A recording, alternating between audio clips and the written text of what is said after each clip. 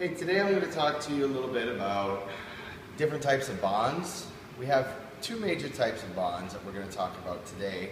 And we have ionic bonds and covalent bonds. And in order to figure out what is an ionic bond and what is a covalent bond, we have to look at the electronegativity values of the elements. So right now, get out your reference tables and I'll wait. You got your reference table? Good.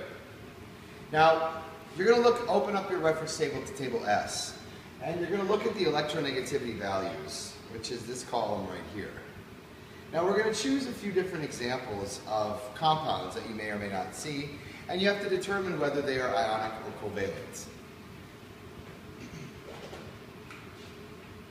So generally speaking, an ionic compound is something where the electronegativity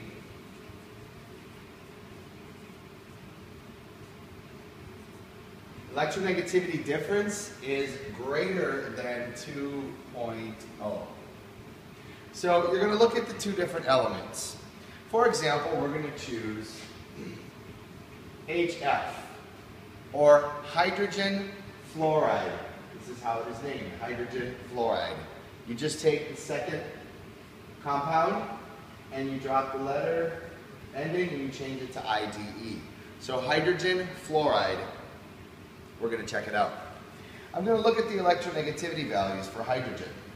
Hydrogen is 2.2 and fluorine is 4.0. That difference is 1.8. Since it is less than 2.0, this bond is considered covalent. Now we're going to check out another one we're going to check out sodium fluoride. Remember, IDE, the ending. So we look at sodium's uh, sodium's electronegativity value, and it is 0.9. And again, fluorine is 4.0, with a difference of 3.1. This bond because it is greater than 2.0, is considered to be ionic. Another rule of thumb that you could use is ionic compounds typically include metals and nonmetals. That is a good rule of thumb, but you always want to check the difference in electronegativity.